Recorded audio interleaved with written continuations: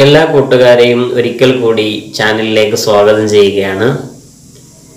ഈ എപ്പിസോഡിൽ പറയാൻ ആഗ്രഹിക്കുന്ന വിഷയം പല സമയങ്ങളിലായി പലരും ചോദിക്കുന്ന ഒരു ചോദ്യമാണ് ഈ രോഗങ്ങൾ ഇല്ലാതിരിക്കാൻ എന്ത് ചെയ്യണം എന്നുള്ള ഒരു പ്രശസ്തമായ ചോദ്യം. രോഗങ്ങൾ തുടരെ തുടരെ ജീവിതത്തിൽ വന്നുകൊണ്ടേയിരിക്കും. അതിൽ നിന്നും രക്ഷ നേടാൻ എന്ത് ചെയ്യണമെന്ന് പലപ്പോഴും പലരും ചോദിക്കും. അവരുടെയൊക്കെ എനിക്ക് പറയാനുണ്ടായിരുന്നത് ഭക്ഷണം ജീവിതത്തിൽ കുറക്കുക.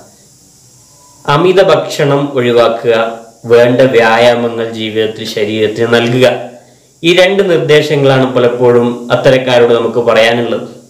പ്രത്യേകിച്ചും പ്രവാചകർ സല്ലാഹു അലൈഹി വസല്ലമ തങ്ങൾ നമ്മെ ഉണർത്തിയ ഒരു ഹദീസങ്ങളുമായി പരിചയപ്പെടുത്തുകയാണ്.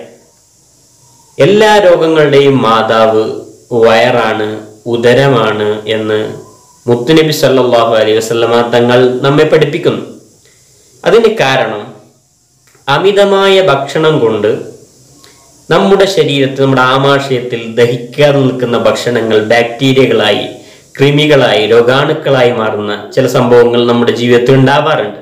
അതാണ് ഏറ്റവും പ്രധാനമായി സ്ഥിരമായി രോഗശൈലിയിൽ കിടക്കുന്ന ഒരു രോഗിയെ സംബന്ധിച്ചിടത്തോളം ഏറ്റവും പ്രധാനപ്പെട്ട രോഗം ഉണ്ടാകുന്ന സ്ഥലം അത് വയറ് തന്നെയാണ്. വയറിൽ ഭക്ഷണം അമിതമായി കടന്ന് ദഹിക്കാതെ ദഹനമില്ലാത്ത സംഭവങ്ങൾ ഉണ്ടാകുമ്പോൾ തീർച്ചയായിട്ടും നമുക്ക് രോഗങ്ങൾ അധികരിക്കും. അപ്പോ പ്രവാചക സല്ലല്ലാഹു അലൈഹി വസല്ലമ തങ്ങൾ വ്യക്തമായി പറഞ്ഞൊരു ഹദീസും കൂടിയുണ്ട്. എന്താണ്? നിങ്ങളുടെ ജീവിതത്തിൽ ഭക്ഷണം കഴിക്കുമ്പോൾ മൂന്ന് ഭാഗങ്ങളാക്കി നിങ്ങളുടെ ആമാശയത്തെ അല്ലെങ്കിൽ വയറിനെ നിങ്ങൾ മാറ്റുക. ഒരു ഭാഗം ഭക്ഷണത്തിന് വേണ്ടിയും ഒരു ഭാഗം വെള്ളത്തിന് വേണ്ടിയും ഒരു ഭാഗം വായുവിന് വേണ്ടിയും നിങ്ങൾ മാറ്റി വെക്കണം ഇത് അനുസരിച്ചുള്ള ഭക്ഷണ ക്രമീകരണങ്ങൾ നമ്മുടെ ജീവിതത്തിൽ ഉണ്ടായാൽ തീർച്ചയായും നമ്മുടെ രോഗങ്ങൾ അധികരിക്കുന്നതിൽ നിന്ന് നമുക്ക് രക്ഷ നേടാൻ കഴിയും. പ്രത്യേകിച്ച് പലപ്പോഴും പലരും പറയുന്ന ഒരു രോഗമാണ് ഗ്യാസ്റ്റിക് പറയാത്തൊരു മനുഷ്യന് നമ്മുടെ മുമ്പിൽ ഉണ്ടാവില്ല. ആ ഭക്ഷണം കഴിക്കാൻ കഴിയില്ല ഈ ഭക്ഷണം തിന്നാൻ കഴിയില്ല ഒന്നും തിന്നാൻ കഴിയാത്ത അവസ്ഥ ചോദിക്കുമ്പോഴൊക്കെ പറയാതെ ഭയങ്കര ഗ്യാസാണ്. ഞാൻ പറയട്ടെ അത്തരം പ്രശ്നങ്ങളിൽ നിന്ന് നിങ്ങൾക്ക് എല്ലാ ഭക്ഷണവും കഴിക്കാം. പക്ഷേ ഈ ക്രമീകരണം നിങ്ങൾ തുടരുക.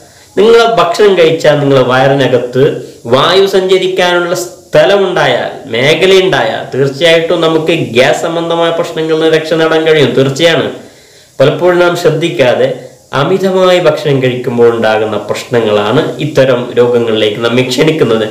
അപ്പോൾ പലപ്പോഴും ഈ അടുത്തും പലരും ചോദിച്ചു എങ്ങനെയാണ് ഉസ്താദെ ഭക്ഷണം കുറക്കേണ്ടത്? ഭക്ഷണം എനിക്ക് കുറയ്ക്കാൻ പറ്റൂലല്ലോ. ഞാൻ തുടരെ തുടരെ ഇങ്ങനെ ഭക്ഷണം കഴി അമിത ഭക്ഷണം കഴിക്കുന്നവരാണ്. പക്ഷേ പെട്ടെന്ന് നിർത്താൻ പറ്റൂലല്ലോ എന്ന് പലരും പറയും. അവരോട് ഞാൻ പറഞ്ഞു കൊടുത്തതും നിങ്ങളോട് പറയുന്നതുമായത് നിങ്ങൾ ഭക്ഷണം ഒരിക്കലും കുറക്കേണ്ട ആവശ്യമില്ല. നിങ്ങൾ ചെയ്യേണ്ടത് ഇന്നു മുതൽ ഭക്ഷണം കഴിക്കുമ്പോൾ ഭക്ഷണം എത്ര വേണമെങ്കിലും എടുത്തോ. പക്ഷേ അല്പം മാത്രം വായലിടുക. ചവച്ചരച്ച് നല്ല ഒരു ജ്യൂസ് ജാറിൽ ഒരു നമ്മുടെ ഭക്ഷണം ഇട്ടാൽ എത്ര കണ്ട് അത് വെള്ളമാകും അതുപോലെ നമ്മുടെ ഉമിനീരോട് കൂടെ നാം നമ്മുടെ ഭക്ഷണത്തെ ദഹിപ്പിക്കുക. വായിൽ തന്നെ പല്ലുകൊണ്ട് ദഹിപ്പിക്കുക. വെറുതെ അല്ലല്ലോ ദൈവം അള്ളാഹു നമുക്ക് ഈ പല്ല് നൽകിയിട്ടുള്ളത്. ഈ പല്ലുകൊണ്ട് നല്ല ഉഷാറായി ചവച്ചരച്ചെടുത്ത് ആ ഭക്ഷണത്തെ ഇറക്കുക. അത് ഇറക്കിയതിന് ശേഷം മാത്രം അടുത്ത ഭക്ഷണം വായിലേക്ക് ഇടുക. ഇങ്ങനെ തുടരുക തീർച്ചയായിട്ടും ഞാൻ ഉറപ്പ് നൽകുകയാണ് എത്ര കൂടുതൽ ഭക്ഷണം കഴിക്കുന്ന ആളാണെങ്കിൽ പോലും ഈ ഇത് തുടർന്നാൽ. അല്പം ഭക്ഷണം എടുക്കുക വായലിടുക മുഴുവനായും ചവച്ചരച്ച് മാത്രം അകത്തേക്ക് കയറ്റുക അതിന്റെ അടുക്ക് വെള്ളം കുടിക്കാൻ പാടില്ല. അതിനുശേഷം വീണ്ടും അല്പം എടുക്കുക. ഇത് ചവച്ചരച്ച് അകത്തേക്ക് പോകുന്നതിനേക്കാൾ മുമ്പ് ഒരിക്കലും നാം വേറെ ഭക്ഷണം വായലിടാൻ പാടില്ല. ഈ ഭക്ഷണം ചവച്ചരച്ച് വയറിലേക്ക് വയറിലേക്ക് പോയ ശേഷം വീണ്ടും അല്പം എടുക്കുക. അത് ചവച്ചരക്കുക. അത് ഉമ്മിനീര് കൂട്ടി ചവച്ചരക്കുക.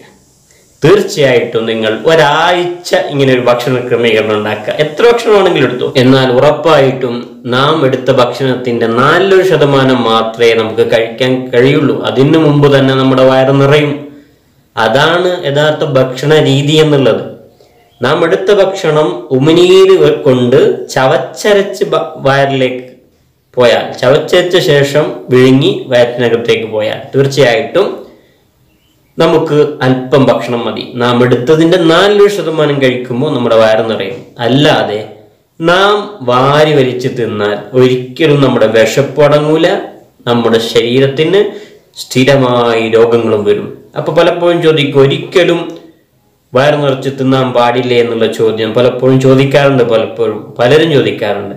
എന്നാൽ എപ്പോഴെങ്കിലും ഒരു പ്രാവശ്യം അങ്ങനെ വയറ് നിറക്കുന്നത് കൊണ്ട് ഒരിക്കലും പ്രശ്നം സംഭവിക്കുന്നില്ല. ഒരു പ്രോബ്ലവും ഇല്ല.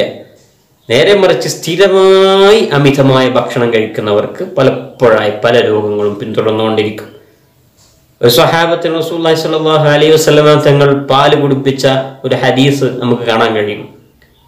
പാൽ കുടിപ്പിച്ച് വീണ്ടും കുടിപ്പിച്ച് വയറ് നിറഞ്ഞെന്ന് പറഞ്ഞപ്പോൾ റസൂലുള്ളാഹി സ്വല്ലല്ലാഹു അലൈഹി വസ്ലമ തങ്ങൾ വീണ്ടും കുടിക്കാൻ പറഞ്ഞു. അങ്ങനെ വീണ്ടും വയർ നിറഞ്ഞു പിന്നെ സ്വഹാബത്ത് പറഞ്ഞു വയറിലേന് സ്ഥലമില്ല നബി എന്ന് പറഞ്ഞപ്പോൾ പ്രവാചകർ സല്ലല്ലാഹു അലൈഹി വസ്ലമ തങ്ങൾ പറഞ്ഞത് എപ്പോഴെങ്കിലും ഒരിക്കൽ ഇങ്ങനെ വയറ് നിറയുന്നത് കൊണ്ട് പ്രശ്നമില്ല സ്വഹാബത്തെ എന്നായിരുന്നു.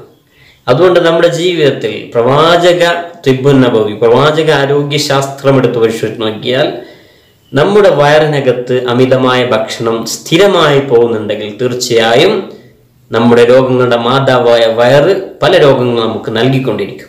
അതുകൊണ്ട് ഭക്ഷണം കുറയ്ക്കാൻ ഉദ്ദേശിക്കുന്നവർ നിങ്ങൾ ചെയ്യേണ്ട കാര്യം ഞാൻ പറഞ്ഞ കൃത്യമായി ശ്രദ്ധിക്കുക. എത്ര ഭക്ഷണം എടുത്താലും എടുത്ത് അല്പം മാത്രം വായലിടുക ഉമിനീര് കൊണ്ട് ചവച്ചരച്ച് മാത്രം പള്ളക്കകത്തേക്ക് കയറ്റുക. തീർച്ചയായിട്ടും നിങ്ങൾക്ക് ഭക്ഷണം കുറയ്ക്കാൻ കഴിയും. ഭക്ഷണം കുറച്ചുള്ള ജീവിതം ക്രമീകരിക്കപ്പെട്ടാൽ തീർച്ചയായിട്ടും നമ്മുടെ രോഗങ്ങളിൽ നിന്ന് എല്ലാവിധ രോഗങ്ങളിൽ നിന്നും നമുക്ക് രക്ഷ നേടാനും നമ്മുടെ ശരീരം എല്ലാ രോഗത്തോടും പ്രതിരോധ ശക്തി ശക്തി വർദ്ധിപ്പിക്കുന്ന രീതിയിലേക്ക് നമ്മുടെ ശരീരം മുമ്പോട്ട് വരാനും ഇത് കാരണമാകും. അതുകൊണ്ട് ഈ രീതിയിലേക്ക് എല്ലാവരും തുടർന്നാൽ നമുക്ക് ഇത്തരം പ്രശ്നങ്ങളിൽ നിന്ന് രക്ഷ നേടാൻ കഴിയും. ഓക്കെ പുതിയൊരു വിഷയമായി നമുക്ക് വീണ്ടും കാണാം. എല്ലാവർക്കും സന്തോഷം നേരുന്നു. Okay bye.